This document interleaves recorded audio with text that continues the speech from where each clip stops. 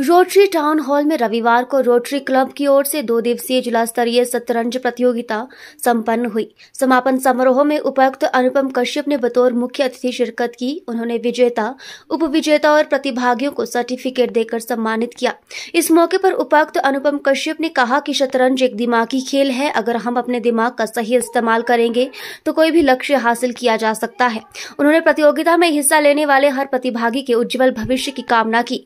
उन्होंने कहा कि किताबों और खेलों से दोस्ती बच्चों का सर्वांगीण विकास करती है। खेलों से अपने क्षेत्र, देश का नाम रोशन किया जा सकता है। उन्होंने कहा कि इस प्रतियोगिता में बच्चों से लेकर वरिष्ठ नागरिकों ने हिस्सा लिया। उन्होंने क्लब को प्रतियोगिता के सफल आयोजन पर बधाई भी दी। मैं दो चीज़ों में अपनी बात को कहना चाहूँगा। एक तो मैं आपको बधाई देना चाहूँगा कि रोटरी क्लब के माध्यम से जो प्रोग्राम आप अपने इंपॉर्टेंट और बिज़ी शेड्यूल में निकाल के ऑर्गेनाइज करते हैं। It is very very valuable for the society ये आपने एक तरह का प्लेज लिया है कि आप कुछ सोशल एक्टिविटीज़ करेंगे, कुछ कल्चरल एक्टिविटीज़ करेंगे, कुछ हेरिटेज को प्रोटेक्ट करके रखेंगे। हमें very positive message to the society and spread positive vibes also अभी इलेक्शन के दौरान कोड ऑफ़ कंडक्ट इम्प्लीमेंटेशन में था, मेरे पास आप सब लोग आए थे।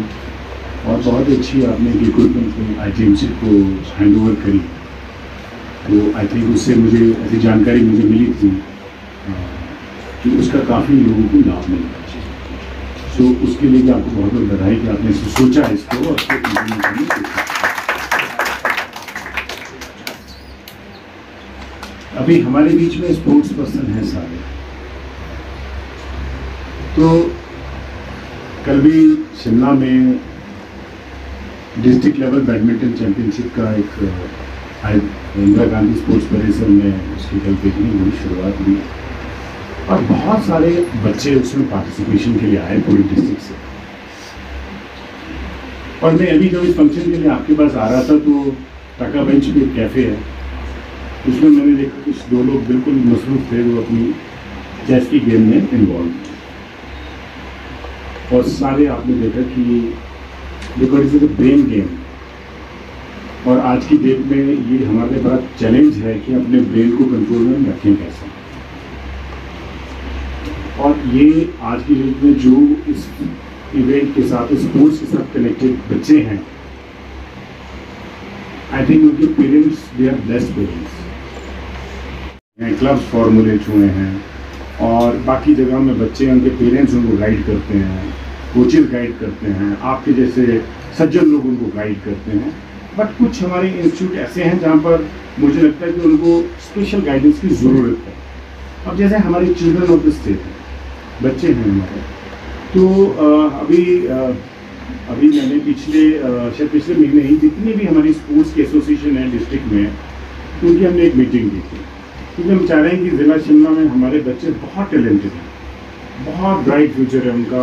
उनके पेरेंट्स उन पर बहुत काम करते हैं और कोचिज़ बहुत अच्छा काम करते हैं।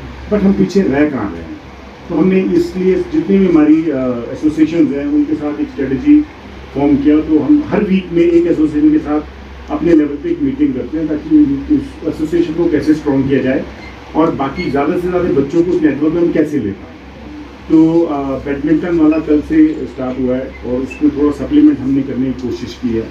तो इसी तरीके से जैसे आपने बताया कि आपने भी डिसाइड किया है कि that you will be organizing district level और आपने जो ये बताया कि आप एक उस तरह की पाठशाला जो है चेस पाठशाला को you want to start and all that तो ये I think this is very positive step towards the bringing our children for having passion toward this such kind of sports इस तरफ़ अपना ध्यान लगा रहे हैं और कंसंट्रेशन को बढ़ा रहे हैं। और साथ ही क्योंकि छोटे बच्चे मुझे बहुत दिख रहे हैं तो मैं इस लॉटरी के प्लेटफॉर्म से ये बात को कहने में आपसे ज़रूर कहूँगा कि आप अपने पेरेंट्स का बहुत ज़्यादा रिस्पेक्ट करें, ठीक है? क्योंकि आपको वो इस गेम के लिए देखिए, आपको तैयार करते हैं, आपको गाइड करते हैं घर से। फिर कहीं आप इवेंट में जाते हैं तो आपके साथ भी आते हैं, बहुत पेरेंट्स भी मैं देख रहा हूँ साथ आए बच्चों ठीक है?